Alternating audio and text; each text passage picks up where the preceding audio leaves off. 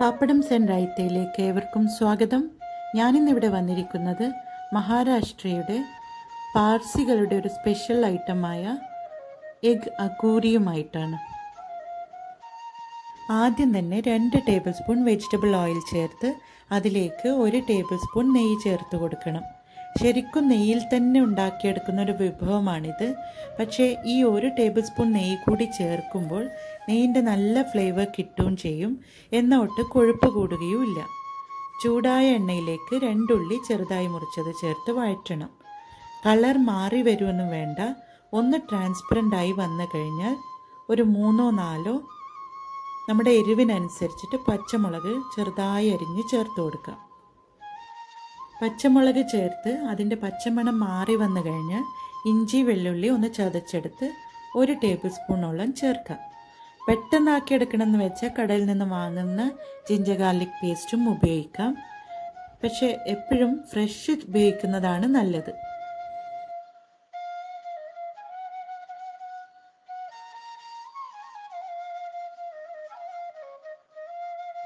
ഇനി ഇതിലേക്ക് രണ്ട് തക്കാളി ചെറുതായി മുറിച്ചെടുത്തത് ചേർത്ത് കൊടുക്കാം. ഒരു മീഡിയം ഫ്ലെയിമിൽ വേണം നമുക്ക് ഇനിയുള്ള കുക്കിംഗ് ചെയ്യേണ്ടത്.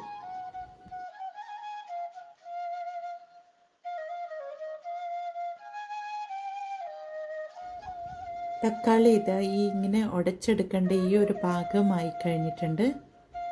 ഇനി ഇതിലേക്ക് ഒരു നാല് മുട്ട പൊട്ടിച്ചൊഴിക്കാം.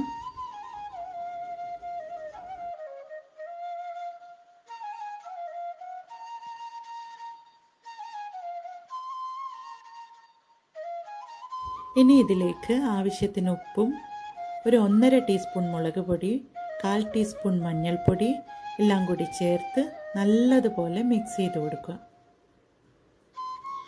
ഇനി എല്ലാം ഈ നമ്മളിപ്പോൾ ചേർത്ത മസാലയും മുട്ടയും എല്ലാം കൂടി നന്നായിട്ട് മിക്സ് ചെയ്തെടുക്കണം.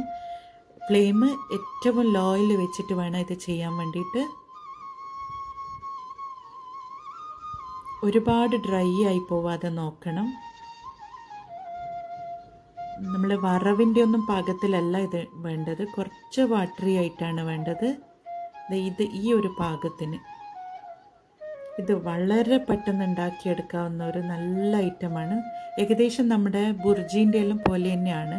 പക്ഷേ ഗാർലിക്കിന്റെ ടേസ്റ്റും മല്ലിയിലയും ഒക്കെ ചേർക്കുന്നത് കൊണ്ട് കുറച്ച് ഡിഫറൻസ് ഉണ്ട്. മല്ലിയില ചേർത്ത് കൊടുക്കേണ്ട സമയമായി ഒരു രണ്ട് ടേബിൾ സ്പൂൺ മല്ലിയില ഞാനിവിടെ ചേർത്തിട്ടുണ്ട്. ഒരു നാല് മുട്ടയുടെ അളവാണ് ഞാൻ ഇത് മുഴുവൻ പറഞ്ഞിട്ടുള്ളത്.